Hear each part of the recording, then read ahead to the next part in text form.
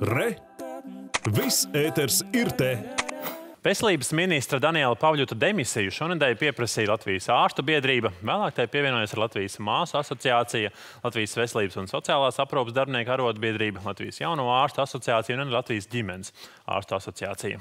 Vakar ministru prezidents Krišānis Kariņš pēc konsultācijām ar valdību veidojošajām partijām un veselības ministru ir ierosinājis koalīcijas pārstāvju un mediķu organizāciju tikšanos, lai veidotu dialogu un rastu risinājumus veselības nozares sarežģītajai situācijai. Tikšanās paredzēta šodien bet šorīt uz sarunu mums pievienojas aizsardzības ministrs Artis Pabriks. Labrīt! Labrīt!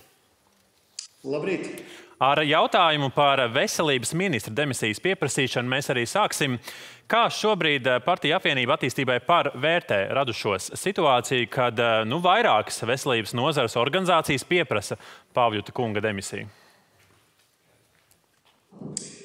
Es domāju, ka, lai mēs šo situāciju pareizi novērtētu, ir jāskatās viņi nedaudz kontekstuāli. Un, e, mums ir jāsaprot, ka pašlaik mēs atrodamies kā valsts ne tikai medicīnas krīzē, bet mums ir visaptvaroša valstiska krīze ar šo pandēmiju. Un skaidrs, ka veselības nozara nav ieguvusi to atbalstu, kas veselības nozarei ir bijis vajadzīgs jau nu, teiksim, tā, pēdējā desmitgadē. Un man šī situācija ļoti labi saprotama, jo, ja es salīdzinu to ar situācija aizsardzības nozarē, tad arī mums bija uh, līdzīgas problēmas un būtu bijušas līdzīgas problēmas, ja mēs nonāktu krīzes situācijā uh, pirms uh, Ukrainas-Krievijas kara, pirms 2014. gada. Un tas nozīmē, ka pašreizējā situācijā es ļoti labi saprotu, un attīstībai par ļoti labi saprotu mediķu teiksim, tā, šo neizpratni par to, kādā veidā mēs pārvaram krīzi, Mediķi grib lielāku atbalstu, mediķi ir pārpūlējušies, mediķiem ir pārslodze, bet vienlaikus, ja tā nav tikai medicīnas krīze, tad mums ir jāskatās, kā mēs varam plašāk šeit e, palīdzēt kopumā valstī pēc iespējas ātrāk to pārvarēt. Un, protams, ka mēs varam nomainīt veselības ministru. Mēs jau nomainījām iepriekšējo, bet es gribētu pateikt arī tā. Pat ja premjeras pašlaik uzņemtos kļūt par veselības ministru, ar ministru nomaiņu vienu, Mēs šo krīzi pārvarēt nevaram. Šeit ir jābūt cita veida darbībai, cita veida sadarbībai ministru kabinetā, un tas ir tas, uz ko mēs arī aicinām. Jo, protams, ka nu, veselības ministrs arī gan jau ir pieļāvis kaut kādas kļūdas savā pusē, bet ne jau valdība ne jau premjeras arī ir e, bez kļūdām šajā situācijā, kurā mēs esam kā valsts.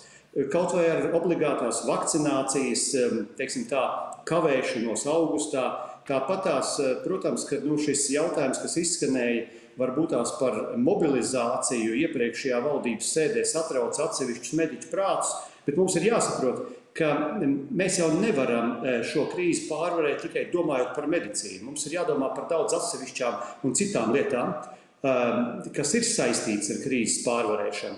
Un mums ir bijusi smaga saruna vakar ar premjeru, Un es domāju, ka pēc šīs sarunas e, valdībai kā tādai kopumā ir jāsaņemās, lai mēs varētu, un arī sabiedrībai ir jāsaņemās, lai mēs šai krīzei tiktu ātrāk pāri. Jo šī nav tikai arī nu, tā, politisko lēmumu um, kļūdas, par kuriem mēs varam runāt. Šeit ir arī visas e, sabiedrības kā tādas attieksme, kaut vai pret to pašu vakcināciju. Mums visiem ir jāsaņemas, ja mēs vairāk negribam redzēt tik daudz mirušos un slimos cilvēkus mūsu hospitālā. Jā, šeit mēs noteikti jums piekrītam. Jūs minējāt, ka smagas sarunas vakar bija ar premjeru, un jūs arī minējāt, ka ir nepieciešamas cita veida darbības un jābūt arī cita veida sadarbībai ehm, valdības eh, koalīcijas partiju vidū. Tad kādu jūs šobrīd redzat, kas tad ir jāmaina šajā sadarbībā partiju vidū, un eh, kas tad tālāk notiek, lai pieņemsim mediķu organizācijas atsaukt šādu demisijas pieprasījumu? Jo tomēr, manuprāt, tāds diezgan stingrs uh, signāls tiek raidīts no veselības organizāciju puses puses? Nu, kā jau es teicu, pirmkārt, man ir ļoti liels šaubas, ka nomainot veselības ministru, mēs pašlaik krīzes situācijā, teiksim tā, skriešanās laikā mainot zirgus, nezinu, mēs kaut ko varēsim šeit atrisināt. Otrām kārtām, protams, ka veselības ministram ir jāspēj varbūt tās veiksmīgāk um, novadīt līdz valdības vadītājiem tās problēmas, kuras eksistē veselības nozarē un kas traucē šīs krīzes situācijā strādāt veselības nozarē. Savukārt premjeram ir jābūt spējīgam nevis vadīt garas valdības sēdes un padarīt tās par tādu akadēmisku dialogu, bet jāspēj koncentrētā veidā veselības nozarei arī palīdzēt, um, uzklausot šos uh, veselības nozares speciālistus un ministra aicinājumus. Bet, kā jau es teicu, atkal mēs nevaram koncentrēties šai mirklī tikai uz veselības nozari. Veselības nozara ir fronts līnijā priekšā. Veselības nozarei visgrūtāk pašlaik iet, bet mēs redzam, ka gan ar šo eh, lockdown, gan ar veikalu aizvēršanu, gan ar robežu, ar hibrīdu karu, kas mums notiek, mums jau ir teiksim, šie izaicinājumi visapkārt arī citām nozarēm. Līdz ar to atslēga ir sadarbība veselības nozarei, ar finansu ministriju, ar aizsardzības nozari, ar iekšlietām. Un, ja šī sadarbība būs veiksmīga, ja koordinācija kabinetā būs veiksmīga, tad arī nevajadzēs eh, veselības eh, nozares speciālistiem protestēt, aicināt uz demisiju, un situācija paliks vienkāršāka. Mhm. Par sadarbību runājot, nesen arī izskanēja tāda versija, ka krīzes vadība būtu jāpārņem Nacionālajiem bruņotajiem spēkiem. Vai jūs varat ieskicēt, par kādu funkciju pārņemšanu tieši varētu šeit būt runa, vai tur jau ir bijušas konkrētas sarunas, ko tad NBS varētu darīt, vai, vai veselības ministrija ar, ar, ar, ir runājusi par šo? Nu, redziet, mēs jau ikdienā palīdzam gan veselības nozarei, gan iekšlietu nozarei, gan ekonomikas nozarei, gan eh, daudzām citām nozarēm. Bet um, es domāju, ka tā ir tāda nu, eh, nedaudz alošanās, domājot, ka bruņotie spēki tagad atnāks un jebkuru problēmu atrisinās valstī. Nu, tad mums ir jāatsakās no demokrātijas un jāveido hunta vienkārši. Nu, es atvainojos par tādu radikālu salīdzinājumu. Jo um, katrai nozarei ir jābūt spējīgai tomēr tikt vairāk vai mazāk ar sev uzticētiem uzdevumiem galā. Un armija jau nav kaut kas tāds, kas vienkārši var jebko izdarīt. Mēs pašlaik, eh, pirmkārt, es nerunāšu par to, kādu veidu atbalstu mēs sniedzam robežsardzēju iekšlietām. Tas, tas notiek ikdienā. Bet mēs esam eh, gatavi veselības nozarei nodot eh, desmit savus mobilos vakcinācijas transporta līdzekļus. Mēs strādājam ikdienā kopā gan Latvijas reģionā, gan citur ar pašvaldībām, kur mums ir laba sadarbība izveidojusies. Mēs nodrošinām loģistiku un iepirkums daudz kur. Mēs iespējams varam palīdzēt arī ar savu personāla sastāvu atsevišķās slimnīcās, kuras pašlaik nu, ir ar drausmīgu pārslodzi Bet mums ir arī jāsaprot, ka mums armija tomēr nav liela. Mēs, mūsu valsts nav liela, un uh, armijas medicīnas nozare nu, nav tādā hospitāļa līmenī pašlaik. Mēs strādājam pie šā, tā šai mirklī, un mēs cenšamies arī mm, pilnveidot uh, armijas medicīnas uh, nozares sadaļu, ja tā var teikt. Bet mēs, protams, nu, mēs, mēs, es, es nedomāju, ka mums vajadzētu pateikt, ka armijai šeit būtu pilnībā viss jādara. Mēs palīdzēsim, mēs varam to darīt ar savu, teiksim, administratīvo aparātu, ar to loģiku un hierarhiju, kas pastāv bruņotajos spēkos un aizsardzības nozarē. Bet e, mums ir jāsaprot, ka veselības nozare ir saskārusies ar krīzi, kas taču viņai nav bijusi. Un vienlaikus, protams, kā jau es teicu iepriekš, veselības nozara netika uzklausīta pirms pieciem un septiņiem gadiem, kad viņiem vajadzēja vairāk palīdzības un kad šāda krīze vēl nevienam prātos nebija. Jā, tik tālu skaidrs. Jūs jau minējāt, ka tomēr nemainīga aktualitāte ir arī drošības jautājums, mūsu valsts drošības jautājums, konkrēti austrumu robeža. Kādu jūs šobrīd redzat iespēju stiprināt robežu ar Baltkrievi, nu, ņemot vērā, ka tomēr katru dienu ziņās mēs dzirdam, ka nu, vairāki desmiti nelegālo imigrantu no Baltkrievis puses cenšas šķērsot mūsu austrumu robežu.